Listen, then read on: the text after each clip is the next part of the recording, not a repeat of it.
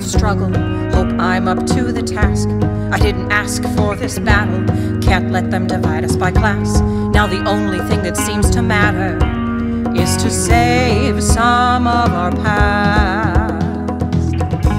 How many others are there like us who have lost their homes, who've been removed and uprooted and left out here all alone, all in the name of progress? Yet we've got nothing to call our own. But you can't see what this city should be. You can't see what this city should be.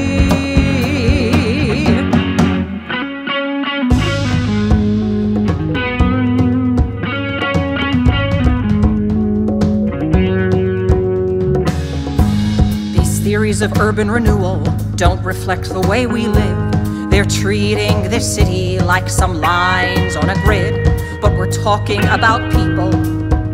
I know something's gotta give. Who gave you the rights to our neighborhood? You and your goddamn proposals. You're up to no good.